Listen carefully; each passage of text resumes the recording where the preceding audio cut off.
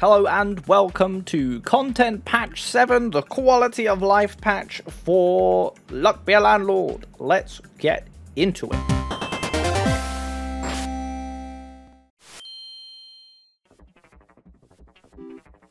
So, we'll start off nice and strong and we'll talk about everything that goes on, the new content, the new features as well. Uh, I'll run through, if you want to actually have a look at the the text-based stuff, I will leave a link in the description. However, feel free to enjoy a standard game that I've just played. You'll actually see some of the symbols that we'll be talking about in the, the following um, video. So enjoy. Let's get into it, shall we? So, new content. Added four new symbols, one common, one uncommon, two rare. Added two new items that are common. Uh, modified six existing symbols and modified eight existing items, which will be talked to in the game balance. As well as that, within there, there is new features. There are rebindable hotkey options, adding a fast forward button and a lock tooltip, which is lovely an option to change the speed of the spins, the animation speeds, an option to have the game respond when the buttons are pressed and released instead of just clicking everything. I know some people want to choose and they kind of click and hold and they get worried, but you know, you now have the ability to do that, no problem. Added a reset to default button as well in each of the options menu. Wonderful stuff. So this roadmap for the content patch and the next has changed slightly. Previously, a large amount of time of the effort was devoted to adding a new game mode uh, which Dan decided to tease in the Discord. Unfortunately, it won't be getting into Content Patch 7, but it might be not even Content Patch 8, so we'll have to see for that one. However, there is tons of quality of life changes and lots of game balance, so let's jump into that. Empty symbols can no longer appear on screen if a non-empty symbol could appear in its place. This is going to be absolutely amazing for when you just have uh, a metric crapload of things, and you know instead of having one of those empties just show up, you will always have symbols, which is absolutely great. Players start with 20 empty symbols instead of 25, which, I mean, pushes it further into the fact that you're going to be able to fill up that board nice and quick, and you'll be getting lots of money from it. Ancient Lizard Blade now gives an additional coin. That's fine and dandy. I still wouldn't use it, even though it's a very rare item. I would I would click it if I have to, but I just leave it alone. Holy Water now makes his hexes give an additional coin. I don't know if that means it's just not going to stop them from doing anything, but instead it's just going to give us additional coin. I will have to find out and see. Lint Roller now gives 10 coins per removed rabbit fluff instead of 6. Wonderful stuff. I know that some of the things that you get would multiply them and make lots of money, and therefore using Lint Roller could be uh, not very helpful, so this is a good, nice change. Red Pepper now gives 5 coins when its effect is triggered instead of free. Mm, easy money, I guess. Nice common uh, upgrade there. Shattered Mirror, Mirror now gives 24 coins every 7 spins instead of 20 coins. I don't know how much 4 coins is going to help me in 7 spins, but you never know. It could be the, the make or break decider. Time Machine now makes golems be destroyed in 2 less spins awesome. Very wonderful change. Very nice to be able to have some extra synergy with Time Machine. Time Machine now also makes frozen fossils be destroyed in 5 less spins. Well, I just said synergy for Time Machine would be good, and there's some more.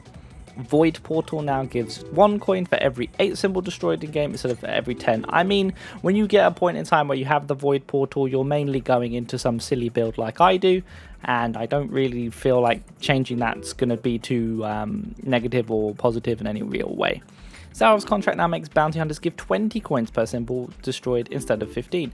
Wonderful stuff. Still never going to take it. I mean, unless it's it's a very niche kind of move when you need it. So who who cares? One of my favorite parts of the changes coming in is Beehive can no longer add bees and has a 10% chance of adding honey instead of 5%.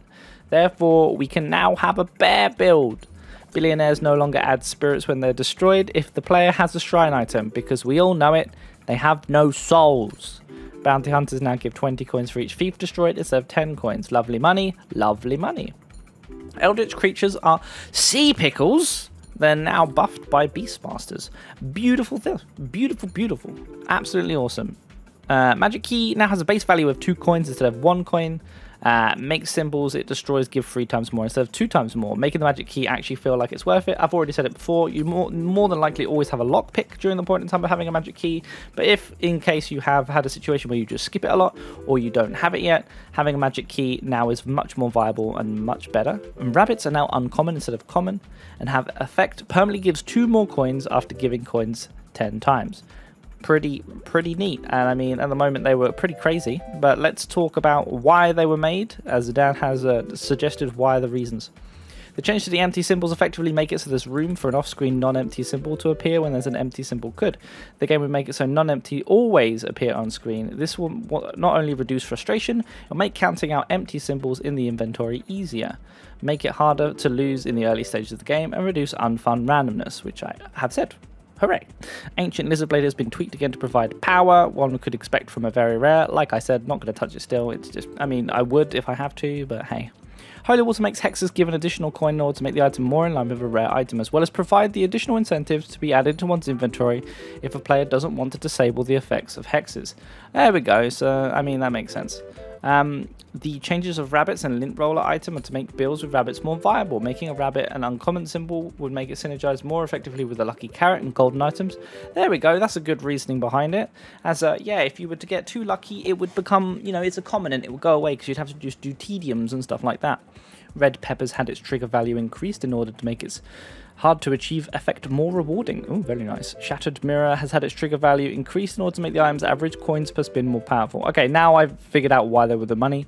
And a time machine affecting Golem and Frozen Fossils was primarily added since players were expecting these symbols to synergize anyway. So that, I mean, explains everything when it comes down to it. Void Portal, while still powerful at late stages of the game, was a bit lackluster for a rare and when they played initially game. That's why they've dropped it down, so early game potential makes more sense. Changes to Zaroff's contract and Bounty Hunters to make Bounty Hunter heavy builds more a viable strategy. Yep, okay, I never have them, so we can try that. Beehive no longer produces bees because I moaned at it. It was a detriment to a player. You can't do anything about it. Now we now we can. And yes, billionaires do not drop spirits because they don't have souls. And the Eldritch creatures were the same reason as the time machine changes, due to the fact that they should probably synergize anyway. And Magic Key has had a value multiplier because of the drought of lockboxes safes. All in all, quite a wonderful thing. And then some bug fixes that I will not talk about. So, Onto the symbols. There are four new symbols as suggested, a one common, one uncommon, and two rare. The common symbol is a present. This can be opened slash destroyed by a toddler, and upon destroying it, it will give you 10 coins. If there are no toddlers around, it will destroy itself after 12 turns anyway to give you some money. The uncommon symbol that there is is now a void fruit, like all other forms of void symbols, like the void uh, creatures and the void stones. It will give you extra coins for any empty squares adjacent. If it has no empty squares adjacent to it, it will destroy itself. It can be eaten by things that eat fruit, and it can be multiplied by things that multiply fruit. The final are two rare symbols. Um, there is the amethyst and the pear as I already have one on my screen, I'm going to lump them together because they act in the same way. They will give you one coin at the start, and then anytime it will give you make it give additional coins via multiplicatives or any other way that you can give it extra money, it will gain a permanent boost to itself. So you can see here a couple times now in the screen above you, I mean above you, in front of you, the pear itself has got up a couple times due to the fact that the arrow has hit it and multiplied it. This works for both the amethyst and the pear. The amethyst is a gem; it can be attained via ores and everything else, which will make um, which will make time machine and X-ray and all that other stuff probably work really good. And then same with having fertilizer, even if you have compost heap, which I have compost heap right now, this build would probably be pretty ridiculous. So, there's two new items. The items are, I'm pretty sure it's a lime pepper, which I have on the right side of my screen right there. It's a common. Uh, it gives you money every time you reroll. Uh, very nice stuff. We didn't have that previously. And then the other one is to the left of my screen. You see the little piece of paper there with paws on it. That is the adoption papers. Breaking that will give you the choice of like a lunchbox, but for creatures. You can even get sea pickles in there. So absolutely amazing stuff. That is all that's new for the new content. Like I said, I'm not going to get into the bug fixes. Um, however, honestly, this huge patch, we were waiting around four weeks for it.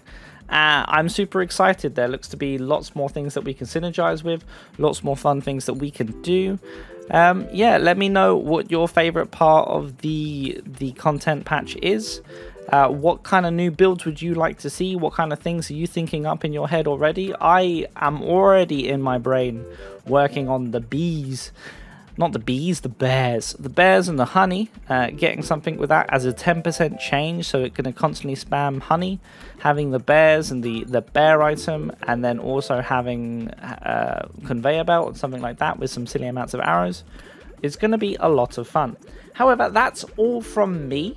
I'm going to let this one little run out. Um, as you can see here, I clearly crushed the game, as always. Wonderful stuff. You got it at 150% speed. But yeah, thank you so much for watching. If you did enjoy, like, subscribe, and comment and all that good stuff. You'll be seeing plenty more Luck Be stuff due to the patch coming up and giving us some more things. This game is still in early access. If you want it, it's in the link below. Thank you so much for watching. I appreciate you, and goodbye!